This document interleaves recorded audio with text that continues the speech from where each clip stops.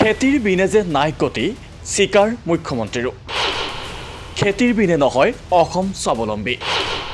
মুখ্যমন্ত্ৰীৰ মুখত অখিল গগৈৰ কথাৰ প্ৰতিধ্বনি।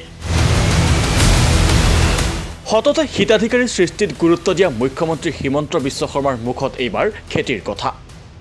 মুখ্যমন্ত্ৰীৰ মুখত অসমৰ বিভিন্ন প্ৰজাতিৰ চাউল নেমু আদা জলকীয়া অৰ্কিডৰ কথা। অসমৰ খেতিয়কে পথাৰত দুবাৰকৈ খেতি কৰাৰ কথা। কৃষি বিভাগৰ উদ্যোগত গুৱাহাটীৰ খানাপাৰাস্থিত অসম পশু চিকিৎসা বিজ্ঞান মহাবিদ্যালয়ত তিনিদিনীয়া কাৰ্যসূচীৰে চলি আছে আন্তৰ্জাতিক কৃষি উদ্যান শস্য মেলা এই মেলাতে খেতিৰে অসম স্বাৱলম্বিতাৰ কথা ক'লে মুখ্যমন্ত্ৰী হিমন্ত বিশ্ব শৰ্মাই।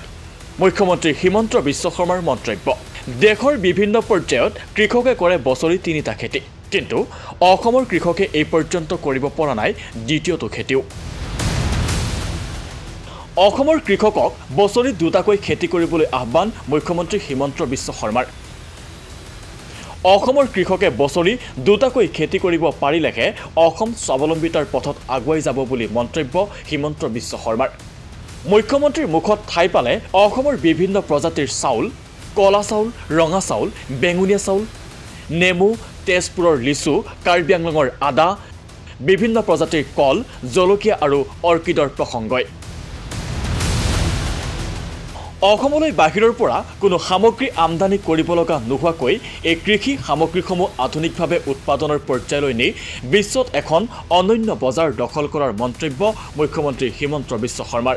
যে আমাৰ কৃষকসকলে মাত্ৰ এটা খেতি কৰে।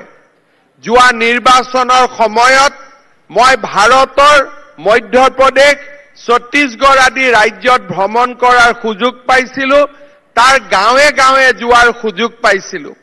তাত মই দেখা পাইছিলোঁ যে প্ৰত্যেকজন কৃষকে তিনিটাকৈ খেতি কৰে।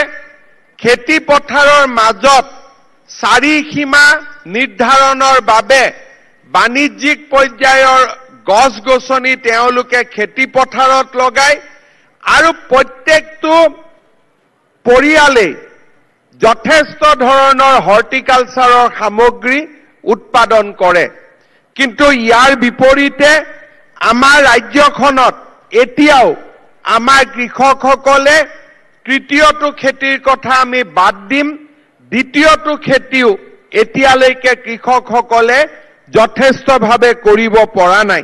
যেনে কলা চাউল ৰঙা চাউল বেঙুনীয়া চাউল জহা চাউল আদিৰ লগতে অসমৰ নেমু তেজপুৰৰ লেচু কাৰ্বি আলঙৰ আদা বিভিন্ন প্ৰজাতিৰ কল বিভিন্ন প্ৰজাতিৰ জলকীয়া অৰ্কিড আদিয়েও আজি বিশ্বৰ দৃষ্টি আকৰ্ষণ কৰিবলৈ সক্ষম হৈছে। এই ক্ষেত্ৰত আমি যদি আগুৱাই যাব পাৰো আমাৰ কৃষকসকল যথেষ্ট উপকৃত হ'ব পাৰিব। বাপতি সাহোন কৃষি সামগ্ৰীসমূহক আধুনিকভাৱে আমি উৎপাদনৰ পৰ্যায়লৈকে লৈ গৈ আমি এখন অনন্য বজাৰ বিশ্বতে আমি দখল কৰিবলৈ সক্ষম হ'ম। মুখ্যমন্ত্ৰী হিমন্ত বিশ্ব শৰ্মাৰ মুখত যেন অখিল গগৈৰ কথাৰ প্ৰতিধ্বনি। বিগত বিভিন্ন সময়ত ৰাজ্যৰ কৃষি অৰ্থনীতি সবল কৰাৰ ক্ষেত্ৰত অখিল গগৈয়ে দি আহিছে কেতবোৰ পৰামৰ্শ। সঁচাকৈ অসম স্বাৱলম্বী কৰিবলৈ হ'লে হিতাধিকাৰী সৃষ্টি নহয় কৃষিৰেহে অসম স্বাৱলম্বী হ'ব বুলি মন্তব্য কৰি আহিছে অখিল গগৈয়ে।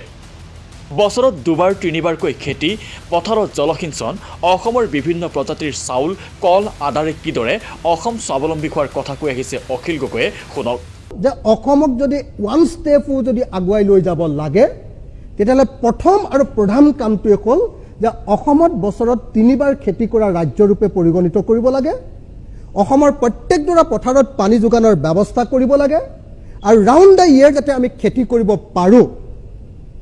কেৱল এই কামটোৰ জৰিয়তেহে অসমে নেক্সট ষ্টেপলৈ আগুৱাই যোৱাটো সম্ভৱ। নাম্বাৰ ওৱান নাম্বাৰ টু আমি ভাবোঁ যে অসমে নেক্সট ষ্টেপলৈ আগুৱাই যোৱাৰ কাৰণে দ্বিতীয় ষ্টেপটো হ'ব লাগে যে অসমৰ থলুৱা সম্পদবিলাকক লৈ থলুৱা সম্পদবিলাকক লৈ কমাৰ্চিয়েলাইজেশ্যন এণ্ড ইণ্ডাষ্ট্ৰিয়েলাইজেশ্যন কমাৰ্চিয়েলাইজেশ্যন মানে মই এনেকৈ ক'ব খোজোঁ যেনেকৈ ধৰক অসমৰ থলুৱা সম্পদ মানে অসমৰ আদা মৰাণ আদা পৃথিৱীৰ ভিতৰত নাম্বাৰ ওৱান আদা। ইয়াৰ আগতে ৰিঅ' দা জেনেৰিঅ' এই আদাটোক গোটেই পৃথিৱীৰ ভিতৰতে আটাইতকৈ ভাল আদা বুলি কৈছিলে। তো এতিয়া মৰাণ আদা এই মৰাণ আদাক পৃথিৱীৰ গোটেই পৃথিৱীত আমি আগবঢ়াই লৈ যাবৰ কাৰণে মই দুটা বাক্য কৈ লওঁ মাত্ৰ। মৰাণ আদা বা তাৰ পাছত মই আকৌ কওঁ যে পাইনএপল আনাৰস। পৃথিৱীৰ ভিতৰতে ভাল পাইনএপল অসমত হয়। আজি অসমৰ বহুত। জলকীয়া আছে অসমৰ লোকেল মাছ আছে। অসমৰ মই মই সদায় যিটো কথা কৈ থাকোঁ আৰু যে অসমৰ কি কয় আপোনাৰ ভীম ভীমকল আৰু অসমৰ কঁঠাল আছে ভীমকল আৰু কঁঠালৰ পৰা আমি বেবী ফুডৰ ইণ্ডাষ্ট্ৰি কৰি দিব পাৰোঁ অসমৰ পাইন এপুলৰ পৰা আচাৰ আৰু অসমৰ মানে ক'ল্ড ড্ৰিংকছৰ নিচিনাকৈ যিটো চৰ্বত আমি গোটেই পৃথিৱীক আমি খুৱাব পাৰোঁ অসমৰ আদাৰে আমি গোটেই পৃথিৱীৰ বজাৰ দখল কৰিব পাৰোঁ। এই কথাখিনি আপুনি কৈছে মই এইটো। কমাৰ্চিয়েলাইজেশ্যনৰ কথা কৈছোঁ আৰু তিনি নম্বৰ যিটো কথা সেইটো হ'ল যে মই ভাবোঁ যে কমাৰ্চিয়েলাইজেশ্যন আৰু ইণ্ডাষ্ট্ৰিয়েলাইজেশ্যন ছেকেণ্ড ষ্টেপ হ'ব লাগিব। আৰু সেইটো মানে ক'ৰবাৰ পৰা টকা আহি ইনভেষ্ট কৰিব পুঁজিপতি আহিব ষ্টাৰ চিমেণ্ট কোম্পানী আহিব আৰু তেওঁলোকক আমি ইয়াতে ইনভেষ্ট কৰিবলৈ মাতি আনিম। এই সপোনটো লৈ যেতিয়া কোনোবাই কাম কৰিব অসমৰ কেতিয়াও উন্নতি নহয়। অসমৰ খেতিয়কৰ মাজৰ পৰা ইনভেষ্টৰ্ছ উলিয়াব লাগিব। অসমৰ ব্যৱসায়ীৰ মাজৰ পৰা ইনভেষ্টৰ্ছ উলিয়াব লাগিব আৰু সেইটোৰ কাৰণে আমাৰ সুপৰিকল্পিত পৰিকল্পনা লাগিব লাগিব। আৰু তিনি নম্বৰ কথাটো হ'ল যে টুৰিজিম